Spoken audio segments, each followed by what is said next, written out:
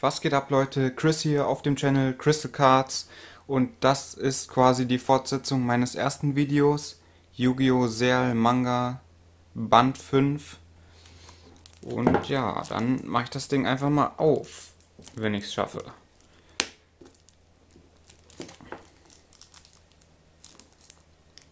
Boah, heftig. So. Ja, und wie schon erwähnt, ist die Story anders als im Anime und dafür wurden auch extra neue Charaktere erstellt, wie zum einen der Typ hier und aus dem anderen Manga die Lady hier. Und ja, wie sie heißen, weiß ich nicht mehr, ist schon lange her. Und da wurde die Karte einfach nur so reingelegt, okay, oder geklebt, was auch immer. Nee. Und das ist Nummer 72 Shogi Rook. Nummerkarte.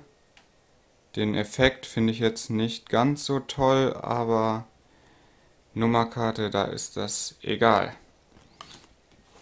Ja, was gibt es sonst noch dazu zu sagen? Eigentlich gar nichts mehr. Insofern, ciao, ciao.